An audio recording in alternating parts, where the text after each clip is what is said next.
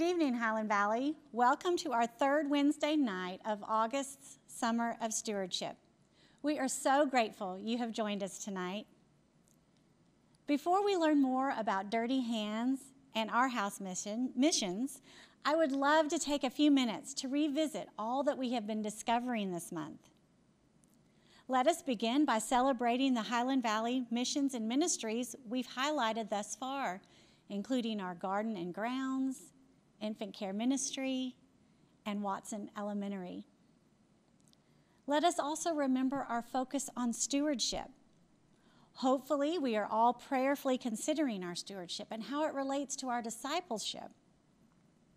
I'm optimistic that many of us have found new, a new lens through which to filter our prayers, our presence, our gifts, our service, and our witness. The book of John reminded us that God is our vine, and we are branches that can bear his fruit when we grow as disciples.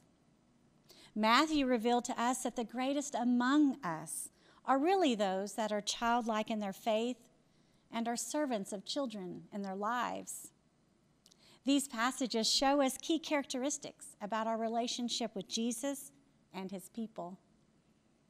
As I mentioned earlier, tonight we will learn more about dirty hands and our house. But before we do, let us look to God's Word. If you would like to read along in your Bibles at home, tonight's passage comes from Matthew chapter 14, verses 15 through 21. As evening approached, the disciples came to him and said, this is a remote place and it's getting late. Send the crowds away so they can go to the villages and buy themselves some food. Jesus replied, They do not need to go away. You give them something to eat. We have here only five loaves of bread and two fish, they answered. Bring them here to me, he said. And he directed the people to sit down on the grass. Taking the five loaves and the two fish, and looking up to heaven, he gave thanks and broke the loaves. Then he gave them to the disciples, and the disciples gave them to the people. They all ate and were satisfied. And the disciples picked up 12 basketfuls of broken pieces that were left over. The number of those who ate was about 5,000 men, besides women and children. This familiar story of the fish and loaves is a beautiful reminder of some eternal truths. First, as people, our initial thought about a problem or situation is often to try to take care of it ourselves, maybe problem solve on our own, and then encourage others to do the same. We see this in verse 15. As evening approached, the disciples came to him and said, This is a remote place and it's already getting late. Send the crowds away so they can go to the villages and buy themselves some food. Yet, when we take those ideas to Christ, as the disciples did in tonight's scripture, he often sees the scenario in an incredibly unique manner and has often a strikingly different plan. Remember in verse 16, Jesus replied, They do not need to go away. You give them something to eat. Can you imagine what went through the disciples' minds? Like many of us, they were quick in verse 17 to point out only what they could see with their eyes and tried to remind Jesus that there were only five loaves of bread and only two fish. Essentially, it seems they thought Jesus must not have heard them correctly, or maybe he didn't understand fully the situation facing the disciples. Then, in his graciousness, Jesus shares his idea with the disciples. He outlines a path forward and simply invites them to listen, trust, and obey. As the story continues, Jesus says, Bring them here to me. And then he directs them to sit down on the grass. What Jesus does next is models for the disciples and those gathered, and for us, how we might best approach any situation. Take what you know and have look to the heavens, lift it before God, give thanks for whatever that may be, and then share your five loaves of bread and two fish with everyone around you. Then, guess what? When the disciples became the hands and feet of Christ, just like we each can, they got to be firsthand witnesses to God's blessing and God's abundance and God's provision. You know what Jesus did surpassed anything the disciples' human minds could have imagined. We read towards the end of the passage that they all ate and were satisfied, and the disciples picked up 12 basketfuls of broken pieces that were left over. As you reflect on the missions and ministries at Highland Valley, as you learn more about Dirty Hands and our house tonight, as you remember our mission to know Christ and share Christ, and as you seek to be a faith community that reflects the rich diversity of God's kingdom, united by the Holy Spirit, living out the good news of Jesus Christ in the way we serve and engage in ministry, ask yourself what loaves and fish do you have? Will you take them to Jesus? Who is Christ asking you to feed with those? Who is he asking you to share those with? Are you going to listen? Are you going to obey him? Will you follow his example? Will you lift your loaves and fish, whatever they may be, to the heavens? Will you offer thanksgiving? Will you begin sharing with those around you that are hungry? And hopefully, when you've done as the disciples did, will you pause to remember that not only can God leave us all satisfied, but He sustains us from a never ending basket of loaves and fish. And aren't we so grateful for that? I look forward to seeing you all next Wednesday for our final week of Summer of Stewardship. Welcome, everyone. Welcome to the journey, SOS. And this month in August, SOS means Summer of Stewardship. What is stewardship? Actually, basically, it's giving back to God what God gave to us. And that's what the missions are at, at Highland Valley. And there are numbers, numerous uh, missions that, uh, if you're not aware of, please get involved in the missions at Highland Valley. I think you'll be very, very pleased with what is happening here in West Little Rock and actually throughout the city. Today, I'm going to talk about Rice Depot, or home, actually, food bank, or what am I talking about? Both. We started Rice Depot about 10 years ago, and the name Dirty Hands came from the fact that we were there on the Saturday, one Saturday per month, for two hours preparing the food and actually, what it was is taking the vegetables, the beans, the rice, the carrots, corn, and putting them in bags. And then we'd put those in cartons and ba- in boxes. That was what we did initially with Rice Depot, and it was outstanding. They gave us 12 to 17, actually, at the end, 17 folks in North Little Rock to call on to deliver the food. And that was outstanding. We learned a lot about them, they learned a lot about us, but more on that later. About six years ago, Food Bank and Rice Depot went together. They combined their, their talents, if you will. And we, fortunately, fortunately, were able to keep the same seniors. Those that we got to know were very pleased, and I think it actually helped both Food Bank and Rice Depot at that time when they're when they're take, going together. It was kind of clumsy because of the situation that they're all in with the two different buildings, but it worked. And I think we're part of that making it work. Our key function is to deliver boxes to the seniors, and that's what we do. We do it on the fourth Saturday of each month. Uh, unfortunately, for the past four or five months, we have not been able to deliver right to their door to take it into them, which, by the way, is special to me and, and others that are on the team at uh, doing Food Bank and Dirty Hands. The, the dirty hands concept was because of all the packaging we did. It's not dirty anymore. It actually, it's something we kept, but at the same time, food banks have been very kind to us to keep us going and keep us involved. We got up to 24 folks at one time, but we were helping other volunteers throughout Arkansas in delivering the food. So to say to you, our key function is to deliver the food, and we've been told many times by the seniors, without the box of food, they wouldn't have enough for the month. They wouldn't have made it through the month. However, I will say this food's important, but the interaction between us and the seniors is critical. That's what they want also. They want eye contact. They want to know that we really care for them. They want some encouragement. And sometimes they want a hug. Um, it's, it's amazing. You spend some time to listen to them. It's a growing situation for them and us too. I've said this before. I was in the congregation. I've given this presentation many, many, many years ago.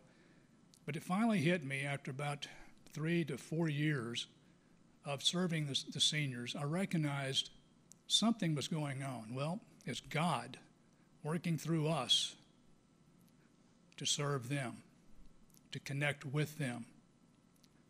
And my friends, that's a great feeling. Some of them, we may be their only contact outside of the next door neighbors. And by the way, these are complex apartments in North Little Rock. So we're the only ones that they see.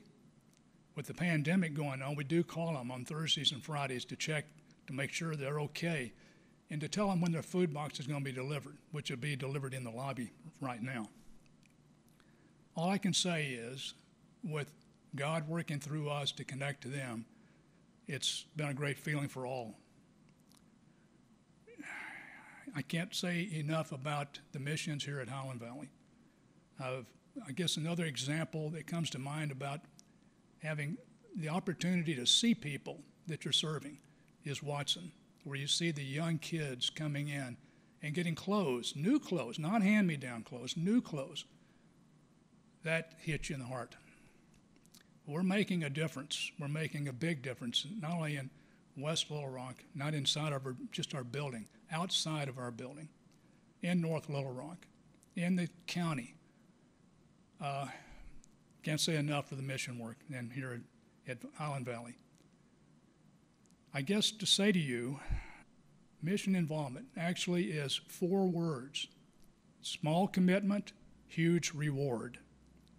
And I encourage you to contact us if you want to join us I will say we had three or four folks at the beginning of 2020 that joined us.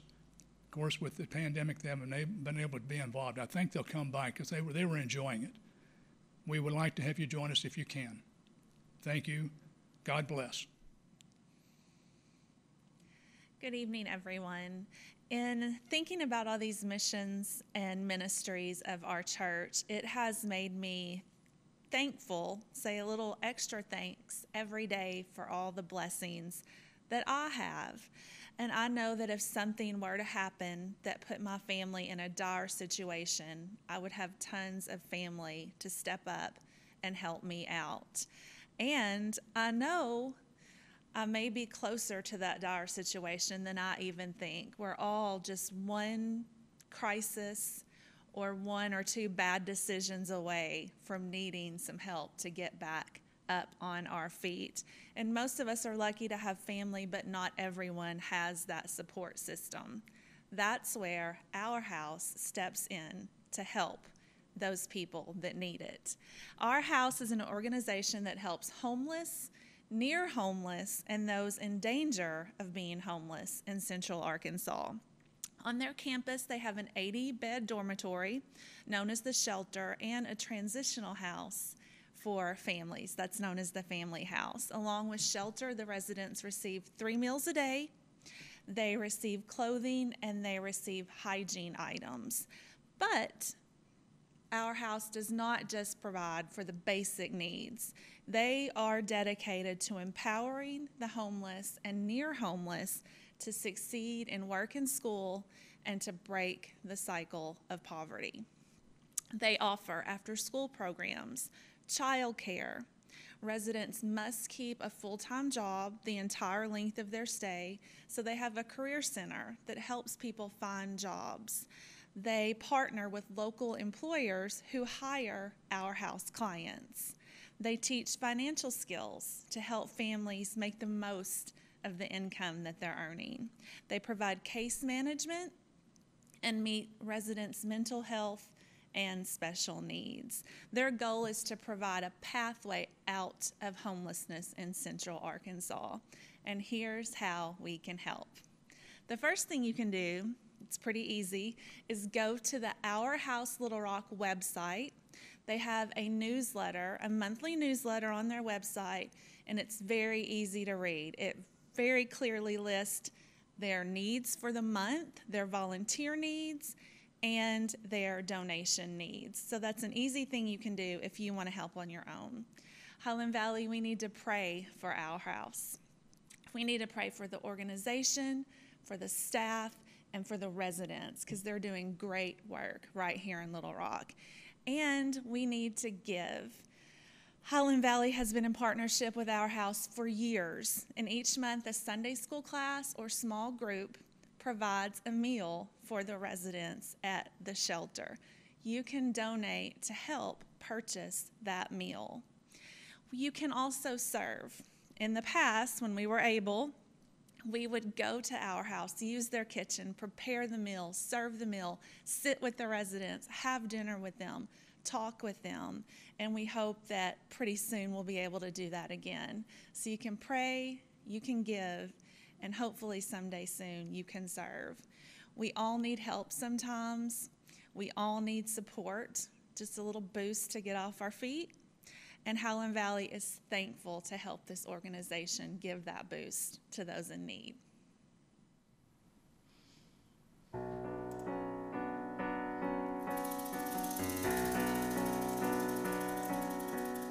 It's crowded in worship today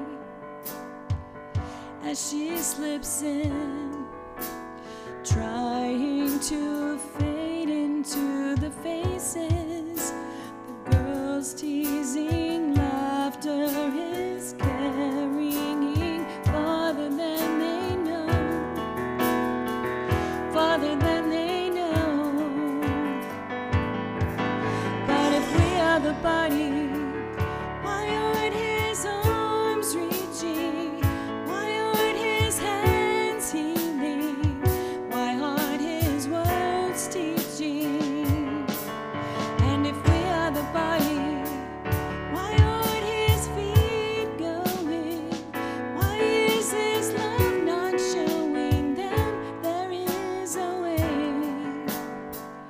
There is a way.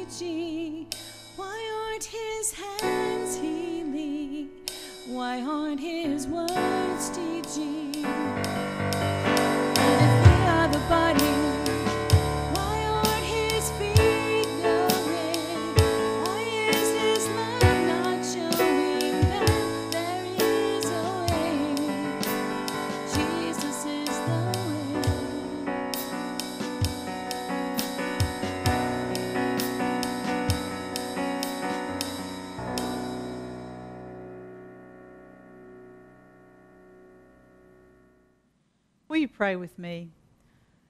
Gracious God, we thank you today for your blessings, for your love, and for um, the lessons that Jesus taught us about compassion and uh, providing for the needs of people who are hungry.